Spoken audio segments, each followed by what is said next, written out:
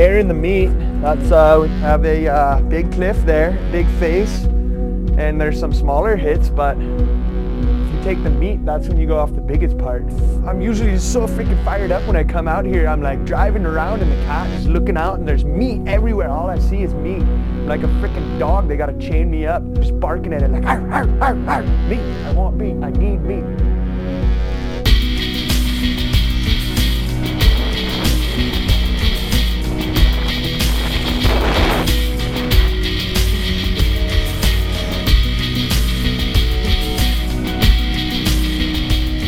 Well, there's a lot of dangerous things going on right now. That's why we have Ralphie wearing a helmet because there's skis flying fast.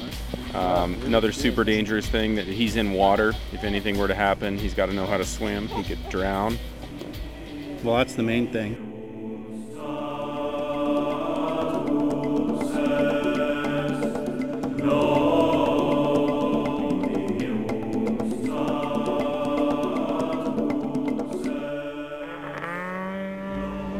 That's awesome. Dude, that's a mean Cossack. You got, a good spread. Pulled my front twice today.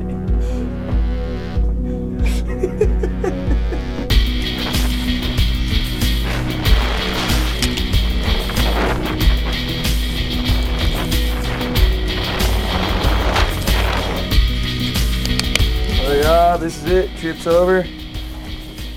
Guess we got to do a little recap of the words we've learned on this trip. Freaking meat cake, uh, stink blanket, uh, Ned Nortler. That's the little hat on the tree. that uh, Tanner Rainville bonked?